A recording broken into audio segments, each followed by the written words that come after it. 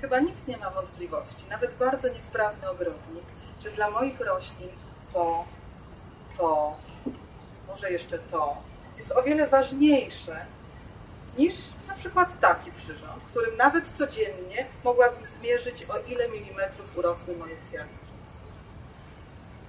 Od tego nie będą ani większe, ani piękniejsze, ani zdrowsze.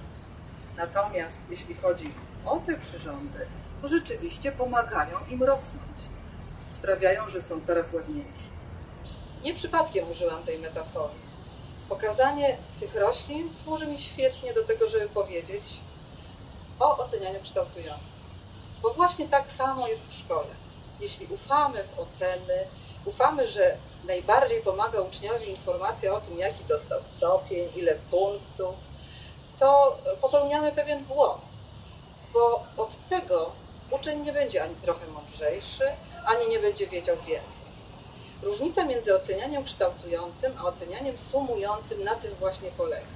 O ile to pierwsze zajmuje się całym procesem uczenia, o ile ono dotyczy wszystkich czynności wykonywanych podczas lekcji przez nauczyciela, to ocenianie sumujące daje nam tylko informację, jak jest w danym momencie. Jest taką miarką, którą przykładamy do ucznia. W ocenianiu kształtującym zajmujemy się całością działania nauczyciela i ucznia, rolą jednej i drugiej osoby. Zajmujemy się tym, jak stworzyć dobrą atmosferę w klasie podczas procesu uczenia się, żeby uczeń wiedział, co ma zrobić, po co to robi, dokąd doszedł, co zrobił dobrze, a co źle, co musi poprawić i jakie działania podejmować w najbliższym czasie. Temu wszystkiemu poświęcony jest właśnie nasz film.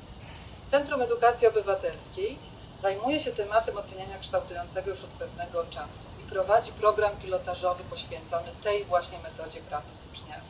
Wydaliśmy też dwie książki, jak oceniać, aby uczyć. Ta książka jest zbiorem doświadczeń ekipy naukowców angielskich współpracujących z nauczycielami nad wprowadzaniem metody i refleksje nauczycieli praktyków w Polsce uczestniczących w naszej części pilotażu ocenianie kształtujące w praktyce. Bardzo zachęcam do lektury, a nasz film pokaże poszczególne elementy oceniania kształtującego właśnie w praktyce.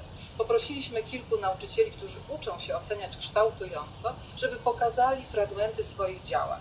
Zaprosili nas na lekcje do swoich klas, a my wybraliśmy z tych lekcji pewne fragmenty, które pomogą nam zilustrować, co to znaczy informować uczniów o celach, jak pokazywać ich im i jak uzgadniać z nimi kryteria oceniania jak sprawić, żeby uczniowie chętnie zadawali pytania i dobrze rozumieli pytania nauczyciela.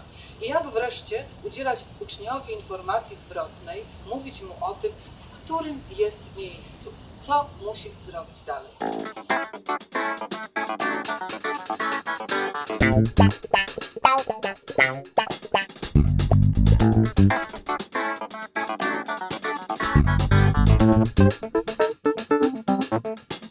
Thank you.